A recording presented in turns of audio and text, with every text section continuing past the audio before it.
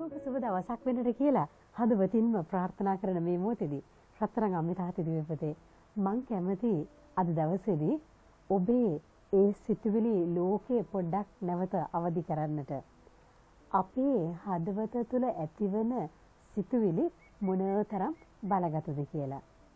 එහෙමනම් අපි හැමෝම දවස ආරම්භ කරද්දිත් දවස අවසන් කරද්දිත් ඒ වගේම ඒ අතරතුර මේ කාල පරිච්ඡේදය තුළ අපිට පුළුවන් නම් කල්පනාකාරීව අපේ සිතුවිලි අපි দমনය කරගන්නට පාලනය කරගන්නට ඒ තුළ අපිට පුළුවන් නම් යහපත් සිතුවිලි ජනිත කරගන්නට අන්න ඒ දේ තුළ අපිට පුළුවන් අපේ ජීවිතය තුළ පෞද්ගලිකව අපිට අපේ ජීවිතය තුළ වෙනසක් ට්‍රාන්ස්ෆෝර්මේෂන් එකක් ඇති කරගන්නට.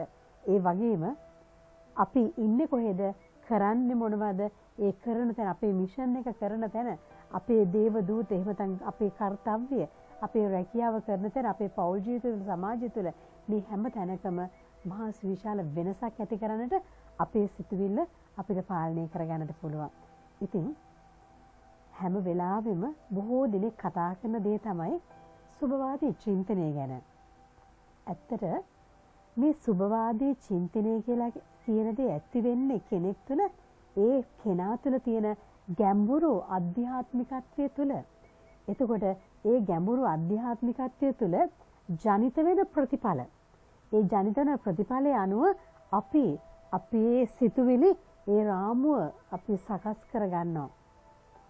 යහපත් අධ්‍යාත්මිකත්වයක් තුළ හොඳ පිවිතුරු බවක පියෝනස් තුළ අපි ඉන්නවා නම් අන්න එතනින් ඒ නික්මෙන ඒ තරංගයන් එක්ක අපේ සිතුවිලි සම්පූර්ණව හරි පිවිතුරු වෙනවා.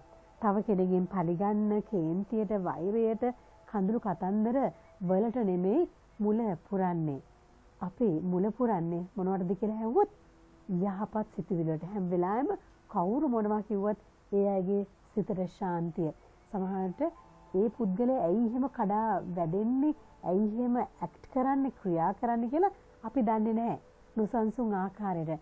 නමුත් ඒ පුද්ගලයාගේ තියෙන නොසන්සුන්කාරකම අපේ ජීවිතයට ගන්නෙ නැතුව අපිට පුළුවන් නම් ඒ පුද්ගලයාගේ නොසන්සුන්කම තේරුම් ගන්නට ඒ තේරුම් අරගෙන ඒකට අනුව අපේ තියෙන ඒ නිමිච්ච බව පාලනය කරගන්නට සමනය කරගන්නට අපිට හැකියාවක් තියෙනවා නම් අන්න එතන අපි දිනනවා. මේක දිනන්න හින්දා කරන දෙයක් නෙමෙයි. නමුත් යහපත් සිතුවිලි පිවිතුරු සිතුවිලි අපේ ජීවිතය තුළ ඇති වෙනකොට ඒකෙන් මනස විතරක් නෙමෙයි සංසුන් වෙන්නේ. මනස විතරක් නෙමෙයි ලස්සන ඒ තලයකටපත් වෙන්නේ.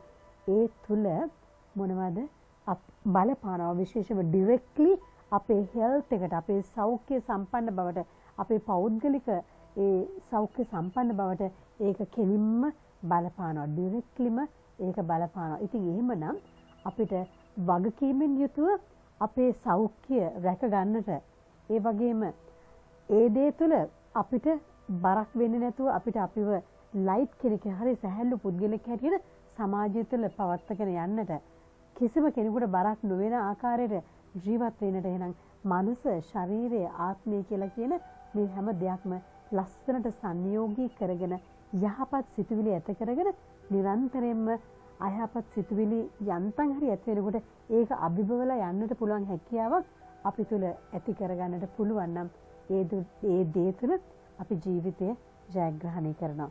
ඉතින් එහෙමනම් එවැනි සිතුවිලි ලෝකයක් තුල අපිට ජීවත් වෙන්නට භාග්‍ය වාසනාව ඔබටත් මටත් අදත් හෙටත් හැමදාමත් උදා වෙන්නට කියලා හදවතින්ම ප්‍රාර්ථනා කරනවා.